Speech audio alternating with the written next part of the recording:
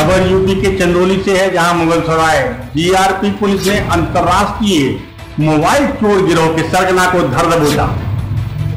सरगना द्वारा छोटे बच्चों से मोबाइल चोरी की घटना को अंजाम दिलवाया जाता था, जिसके बाद मोबाइलों की तस्करी के ज़रिए ऊँचे दामों पर बांग्लादेश में बेच दिया जाता था।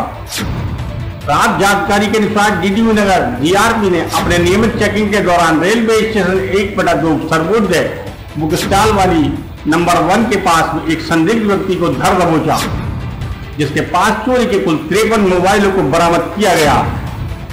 जिनकी अंतर्राष्ट्रीय कीमत लगभग 11 लाख रुपया बताई गई।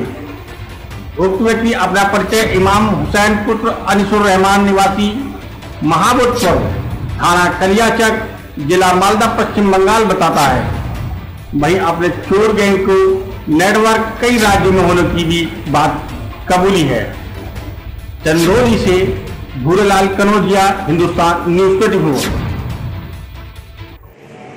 ये एक व्यक्ति अरेस्ट हुआ है, जिसके पास से तिरपन एंड्रॉयड फ़ोन बरामद हुए हैं। और ये बता रहा है कि ये छोटे बच्चों से हम लोग साथ चोरी कराते हैं। विभिन्न जनपदों में, आजमगढ़, जौनपुर, बनारस। और यहाँ से ले आकर के कालिया छक जगह है, मालदा। वहाँ ये लोग बेचते हैं। वहाँ से इनका कहना है कि यहाँ से साथ बहुत सारे लोग बांग्लादेश मोबाइल को ले क्या कार्रवाई कर रहे हैं और बरामद स्मार्टफ़ोन की कीमत कितनी है? ये मुकदमा पंजीकृत कर इनको जेल भेजा जा रहा है और मोबाइल करीब ग्यारह लाख रुपए कीमत बताई जा रही है। आगे क्या कार्रवाई कर रहे हैं?